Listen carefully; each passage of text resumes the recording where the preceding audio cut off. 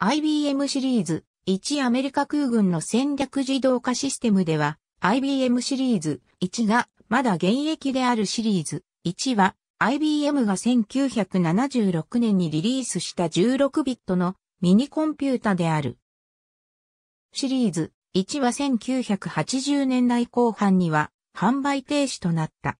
シリーズ1はリアルタイム性が高く、機器制御や通信制御などに多く使用されたため、ミニコンピュータと呼ぶのが妥当と思われる。日本では単純にオフィスコンピュータに分類されることが多い。シリーズ1は IBM のボカラトンで開発された。標準で通信機能を持ち、ラック搭載可能でレンタルではなく買い取りで販売された。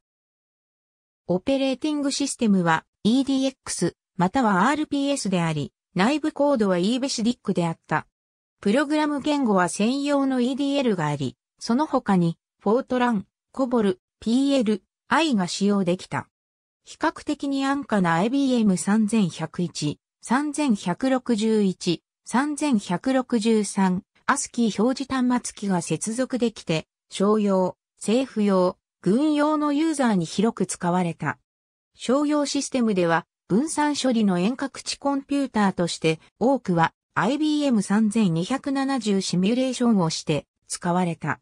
大手ユーザーには、ケイマート、ステートファーム保険、ベストウェスタンホテルズ、セコム、アメリカ海兵隊などがあった。なお、現在でもアメリカ軍の指揮統制系統においてこのコンピューターが現役で稼働している。ありがとうございます。